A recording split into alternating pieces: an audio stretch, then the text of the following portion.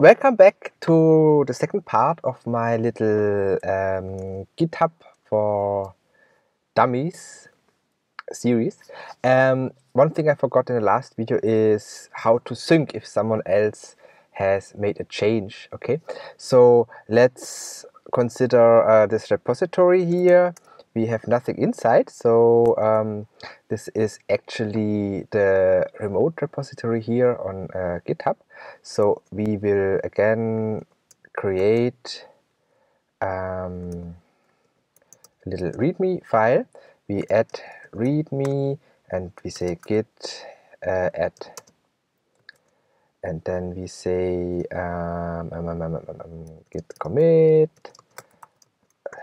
blah blah and then git push.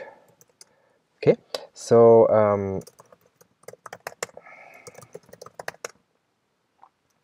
so then we have the readme file here. And now let's create a new file in the remote repository. That's something which will happen also if someone else um, pushes something to that repository. You will see a new file a new file. And this is now only in the remote repository and not in my local. You see here there is only the readme, not the, um, the new file. So to obtain this new file, you say just git uh, pull and then you see here the new file is also here. Um, yeah, that's basically it. And then, um, interestingly, let's say you are, for example, uh, working on a huge sub-project in that repository and you don't want to interfere with the, with the main work going on. So the main work is basically called a branch, uh, which is master. And you can create um, your own branch. So you can say git uh, um, branch my branch for example so and then we still if you say git status we still see that we are um, here on the master branch. Now we say uh, git check out my branch. And now see we are switched to my branch. And now we say uh, git status. You also see here we are on my branch okay? Now what what I do is we um, say here um, we have those two files and then we say um, stuff on branch here and we say stuff on branch.txt so git add stuff on branch git commit blah and git push.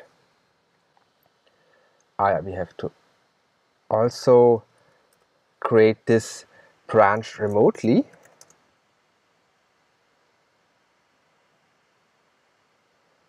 So and now we, we push it to a remote branch. So now we can actually see that my branch has been created here.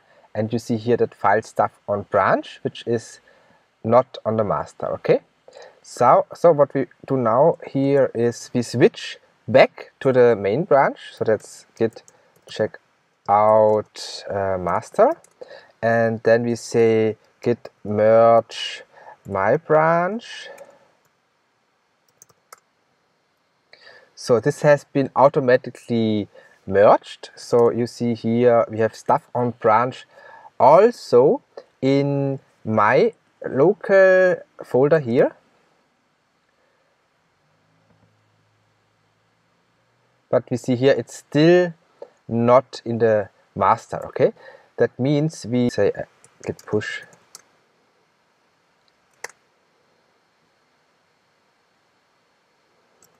so and if we now refresh we see uh, stuff from branch. So what happened here is we have merged from the local branch repository into the local um, master repository and now we push the contents of the local master repository to the remote master repository and that way we merged the branch back into the master branch.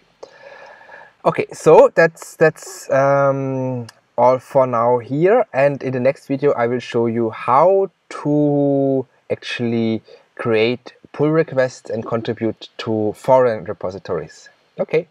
Thanks for watching and see you in a second.